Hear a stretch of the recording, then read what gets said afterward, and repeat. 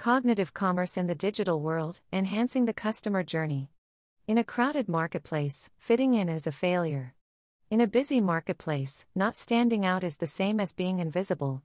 Seth Godin, motivational speaker, author, and former VP of Direct Marketing at Yahoo.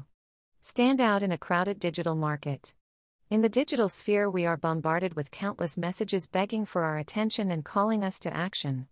Whether buying a product, interacting on social media, contributing to numerous myriad online communities, reading blog articles, maybe sharing them and increasing their influence, and encouraging further engagement, consumers are constantly being deluged with branded messaging. How, then, does a marketer cut through all the digital noise? Cognitive commerce, what a consumer wants, what they need, whatever makes them happy, sets them free. Cognitive commerce relates to systems within a particular API on a website or other digital channel that learns what customers want, on an individual and aggregate level.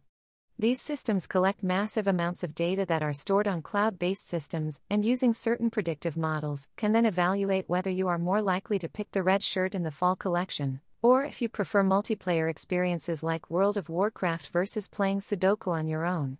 The intent behind the systems. At the root of it, cognitive commerce is about assisting people in making better decisions.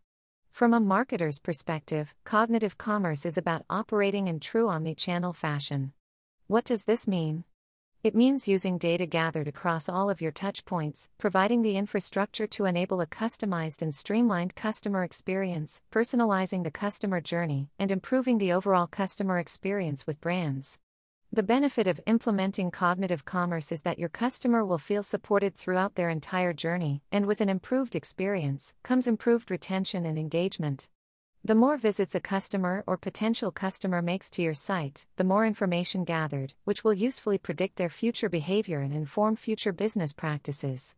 Cognitive commerce versus traditional fixed point marketing methods.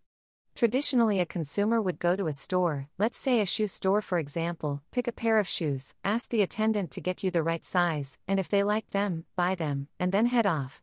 The problem with this model is that the customer experience is very much dependent on the one and done interactions that happen in store.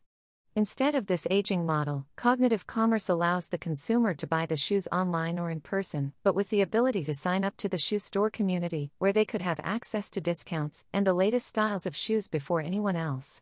Bonus points for adding the store's social media channels.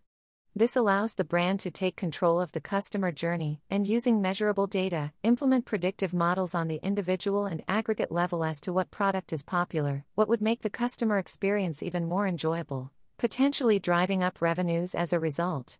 Traditional marketing methods have their place, but as consumers demand ever increasing attention to their particular needs, the way that brands manage, evaluate, and act on the data they gather from customer visits is a far more useful indicator of continuing success. Enter the cloud.